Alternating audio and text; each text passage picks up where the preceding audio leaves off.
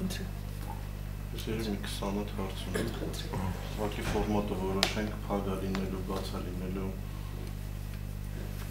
Փակ բաց նկատում եք մեր աշխատողների Չէ, այսինքն հետո մենք մեր մոտ վերարտադրելուց Ես մի Եթե բան ինչ-որ տես բան կա, դուք ուղղակի Չէ, ասեք։ ես որ մի բան կարող եմ ասել, որ հանդիպումը նրա համար է, որ մենք ը, այսպիսի պահ կարող եմ ես արձանագրել, որ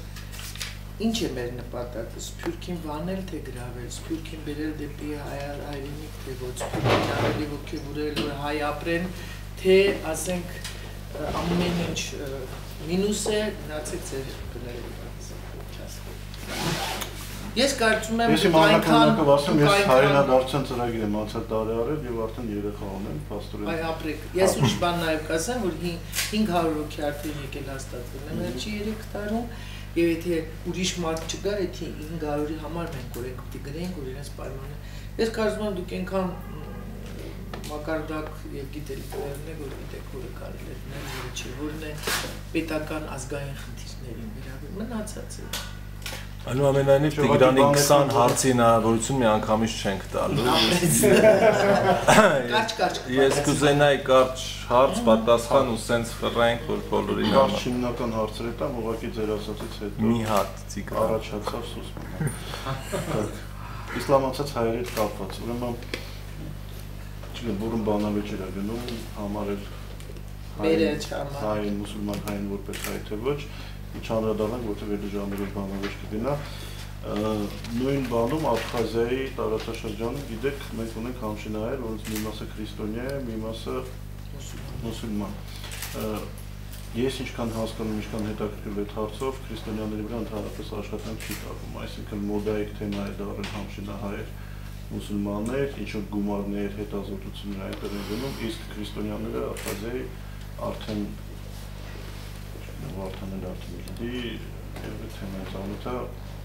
իրենց հետ որ զրուցում եք նույն երկրամասի ժողովրդի հետ, իրանք ասում են, որ խայտարակ վիճակ է, այսինքն բավականին արագ նվազում են քրիստոնյա համշինահայերը։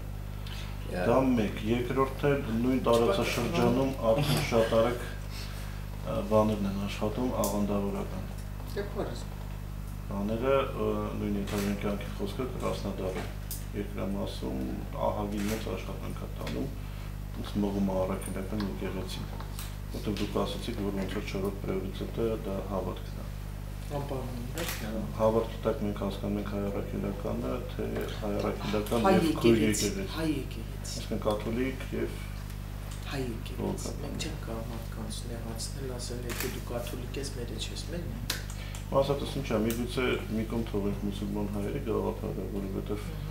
այնտեղ մի քիչ հարցեր կան։ Ուղղակի զբաղվենք եղած քրիստոնյաներով։ Ուրեմն նախ ուզում եմ նաև մի բան պատկերացնենք, ունենք 100 համայնք աշխարհում, 33000 կազմակերպություն, 850 դպրոց, էլ չեմ արդեն բաժանում Ռուսաստանը մեկ համայնք է վերցնում, Ռուսաստանում իրենից ներկայացնում է 78 համայնք։ Ամեն մարզը իր առանձին կտրվածքով։ Սպասել, որ մենք մի տարի կայացանք ստեղծվեցին դրա, այլ պիտի տարի կեսում բոլորի խնդիրները, հարցերը, ցերկները հասնի հարկե ոչ, որովհետև անկախ նրանից որ թիվը կարծես մեծ է 90 է, բայց հազիվ 50 հոգին են, որ զբաղվում են սփյուռքով, որովհետև իրավական, տեխնիկական, մյուս հարցերով զբաղվում, ֆինանսական եւ այլն։ Բայց մենք ունենք մասնագետ այստեղ, եւ մեր մասնագետը եղել է նաեւ այնտեղ։ Մենք կապ ենք պահպանում Աբխազիայի հետ։ Ինչ ատել։ Հա, Հա։ չուզենալ